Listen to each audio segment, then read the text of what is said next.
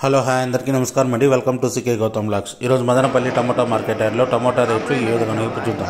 అందుకనే ముందు మన ఛానల్లో ఉన్న ఫస్ట్ టైం చూస్తుంటే ఇంతవరకు సబ్స్క్రైబ్ చేసుకోకపోతే ప్లీజ్ సబ్స్క్రైబ్ చేయండి. అలాగే పక్కన ఉన్న బెల్ ఐకాన్ని క్లిక్ చేయండి. నేను పెట్టే వీడియో మీకు యూస్ఫుల్ అనిపిస్తే ప్లీజ్ లైక్ కొట్టండి.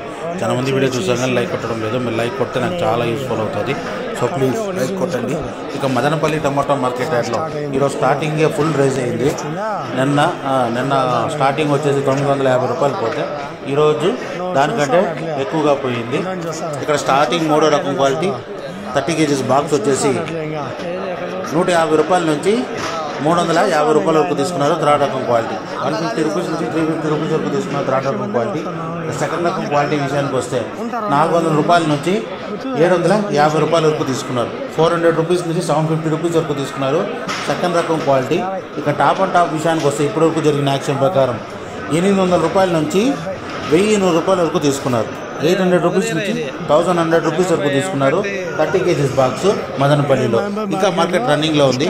ఒకవేళ రేట్ పెరిగితే ఇంకో వీడియో అప్డేట్ చేస్తా. ప్రస్తుతానికైతే పదకొండు వందల రూపాయలు top and top eleven hundred rupees top and top ఇది ఈరోజు మదనపల్లి టమోటా మార్కెట్ యార్డ్లో టమోటా రేట్లు. ఈ వీడియో కనుక మీకు నచ్చినట్లయితే తప్పకుండా లైక్ కొట్టండి. ఇక ఇలాంటి మరిన్ని మార్కెట్ వివరాల కోసం మా ఛానల్ని తప్పకుండా సబ్స్క్రైబ్ చేయండి. థ్యాంక్ యూ మీ గౌతమ్.